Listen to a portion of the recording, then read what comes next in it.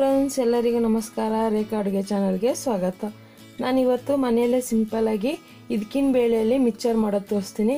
ಇದಂತೂ ಚಳಿಗಾಲದಲ್ಲಿ ಸೊ ತುಂಬ ಸಿಂಪಲ್ಲಾಗಿ ಸೂಪರಾಗಿರುವಂಥ ರೆಸಿಪಿ ಇದನ್ನ ಹೇಗೆ ಮಾಡೋದು ಇದಕ್ಕೆ ಬೇಕಾಗಿರೋ ಇಂಗ್ರೀಡಿಯೆಂಟ್ಸ್ ನೋಡೋಣ.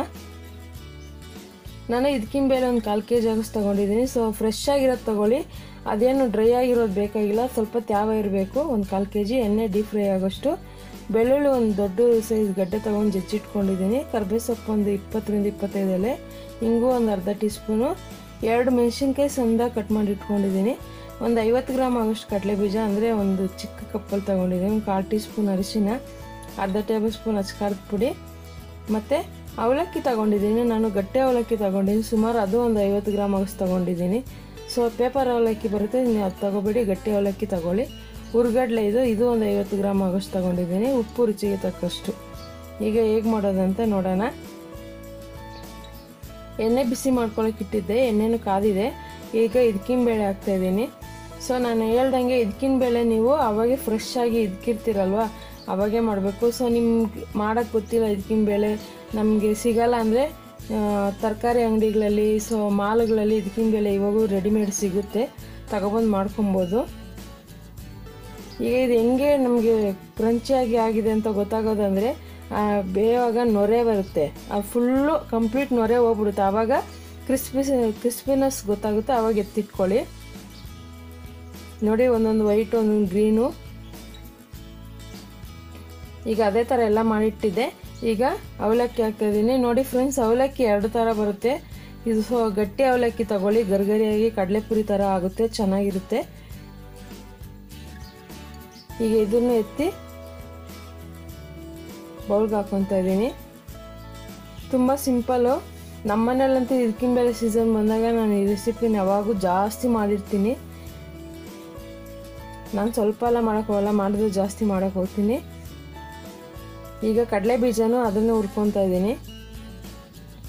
ನೀವು ಮನೇಲಿರುವಾಗ ಈ ಥರ ರೆಸಿಪಿಗಳು ಮಾಡಿಕೊಂಡ್ರೆ ನಿಮ್ಮ ಮಕ್ಕಳಿಗೆ ತಿಂದೇ ಇರೋರು ಕೂಡ ತಿಂದ್ಬಿಡ್ತಾರೆ ಸೊ ಸಾಯಂಕಾಲ ಟೀ ಟೈಮ್ಗೆ ಇಲ್ಲ ಊಟಕ್ಕೆ ನೆಂಚ್ಕೊಳ್ಳೋಕ್ಕೆ ಆ ಥರ ಎಲ್ಲ ಯೂಸ್ ಆಗುತ್ತೆ. ಇದಕ್ಕೆ ಸುಮಾರು ಒಂದು ಮೂರು ಟೇಬಲ್ ಸ್ಪೂನ್ ಎಣ್ಣೆ ಹಾಕ್ತಾಯಿದ್ದೀನಿ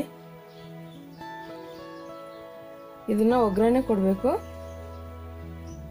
ಈಗ ಕರ್ಬೇವು ಸೊಪ್ಪು ಹಾಕ್ತಾ ಇದ್ದೀನಿ. ತುಂಬ ಜನ ಕಮೆಂಟ್ಸ್ ಮಾಡ್ತಾ ಇದ್ದೀರಾ, ನಮಗೆ ಮೇಡಮ್ ನಮ್ಮ ರೆಸಿಪಿಗಳು ಮಾಡ್ತಾಯಿಲ್ಲ ಅಂತ. ನಾನು ಮಾಡಿ ತೋರಿಸ್ತೀನಿ, ಬೇಜಾರು ಮಾಡ್ಕೊಬೇಡಿ. ಈಗ ಬೆಳ್ಳುಳ್ಳಿ ಹಸಿಮೆಣ್ಸಿನ್ಕಾಯಿ ಹಿಂಗು ಅದೆಲ್ಲ ಹಾಕಿ ಸ್ವಲ್ಪ ಫ್ರೈ ಮಾಡ್ಕೊಳ್ಳೋಣ. ಹಸಿಮೆಣ್ಸಿನ್ಕಾಯಿ ಯಾಕೆ ಹಾಕ್ತಾ ಇದ್ದೀನಿ ಅಂದರೆ, ಅದು ಇದಕ್ಕಿನ ಬೇಳೆ ಇದೆ, ಮಿಕ್ಚರ್ ತಿಂತೀರಲ್ವ, ಅವಾಗ ಒಂದೊಂದೇ ಸಿಗುತ್ತೆ, ತುಂಬ ಟೇಸ್ಟಿಯಾಗಿರುತ್ತೆ ಕ್ರಿಸ್ಪಿಯಸ್ ಆಗಿಬಿಡುತ್ತೆ. ಈಗ ಹುರ್ಗಡ್ಲೆ ಹಾಕ್ತಾಯಿದ್ದೀನಿ ಹುರ್ಗಡ್ಲೆನೂ ಚೆನ್ನಾಗಿ ಫ್ರೈ ಆದಮೇಲೆ ಒಂದು ಕಾಲು ಟೀ ಸ್ಪೂನ್ ಅರಿಶಿನ, ಖಾರಕ್ಕೆ ಅಚ್ಚ ಖಾರದ ಪುಡಿ ತಗೊಂಡಿದ್ದೀನಿ, ಒಂದು ಅರ್ಧ ಟೇಬಲ್ ಸ್ಪೂನು. ಈಗ ಇದನ್ನು ಚೆನ್ನಾಗಿ ಮಿಕ್ಸ್ ಮಾಡ್ಕೊಳ್ಳೋಣ. ಚೆನ್ನಾಗಿ ಮಿಕ್ಸ್ ಆದಮೇಲೆ ಸ್ಟವ್ ಆಫ್ ಮಾಡಿಬಿಡ್ಬೇಕು. ಯಾಕಂದರೆ ಅದು ಬೇಗನೆ ಸಿದೋಗುತ್ತೆ. ಸ್ಟವ್ ಆಫ್ ಮಾಡಿಬಿಟ್ಟು ಇದನ್ನು ಸ್ವಲ್ಪ ಲೈಟಾಗಿ ಆರಕ್ಕೆ ಬಿಟ್ಬಿಡೋಣ. ನಾವೇನು ಮತ್ತೆ ಫ್ರೈ ಮಾಡೋದು ಬೇಕಾಗಿಲ್ಲ, ಮಿಕ್ಸ್ ಮಾಡಿದ್ರೆ ಸಾಕು. ಈಗ ತಣ್ಣಗಾಗಿದೆ. ಇವಾಗ ಅವಲಕ್ಕಿ ಇದಕ್ಕಿನ ಬೇಳೆ ಕಡಲೆ ಬೀಜ ಅದೆಲ್ಲ ಹಾಕ್ತೀನಿ. ಉಪ್ಪು, ನೀವು ರುಚಿಗೆ ತಕ್ಕಷ್ಟು ಹಾಕ್ಕೊಳ್ಳಿ. ನೋಡಿ ಹಾಕ್ಕೊಳ್ಳಿ, ಬೇಕಂದರೆ ಮತ್ತೆ. ಖಾರ ಬೇಕಂದರೆ ಖಾರನೂ ಹಾಕ್ಕೋಬೋದು. ಚೆನ್ನಾಗಿ ಮಿಕ್ಸ್ ಮಾಡ್ಕೊಳ್ಳಿ. ನಾವು ಹಾಕಿರೋ ಉಪ್ಪು, ಖಾರ ಎಲ್ಲದಕ್ಕೂ ಹಿಡಿಬೇಕು. ಒಳ್ಳೆ ಸ್ನ್ಯಾಕ್ಸ್ ಇದು. ಸುಮಾರು ನಾನು ಮಾಡಿಟ್ಟಿರೋದ್ರಿಂದ ಒಂದು ಅರ್ಧ ಕೆ ಜಿ ಮಿಕ್ಚರ್ ಆಗಿದೆ ಇದರಲ್ಲಿ. ನೋಡೋದ್ರಲ್ಲ, ಎಷ್ಟು ಸಿಂಪಲ್ಲಾಗಿ ಕಲರ್ಫುಲ್ಲಾಗಿ ಈಸಿಯಾಗಿ ಇದ್ಕಿಂಬ ಬೆಲೆಯಲ್ಲೂ ಮಿಕ್ಚರ್ ಮಾಡೋದಂತ. ನೀವು ಈ ರೆಸಿಪಿನ ಮನೇಲಿ ಖಂಡಿತವಾಗಿ ಟ್ರೈ ಮಾಡಿ, ಹೇಗಿದೆ ಅಂತ ನಮ್ಮ ಜೊತೆ ಕಮೆಂಟ್ಸ್ ಮಾಡಿ. ಮತ್ತಷ್ಟು ಈಸಿ ರೆಸಿಪಿಗೆ ರೇಖಾ ಅಡುಗೆ ಚಾನಲ್ ಸಬ್ಸ್ಕ್ರೈಬ್ ಮಾಡಿ ಶೇರ್ ಮಾಡಿ ಲೈಕ್ ಮಾಡಿ. ಎಲ್ಲರಿಗೂ ಧನ್ಯವಾದಗಳು.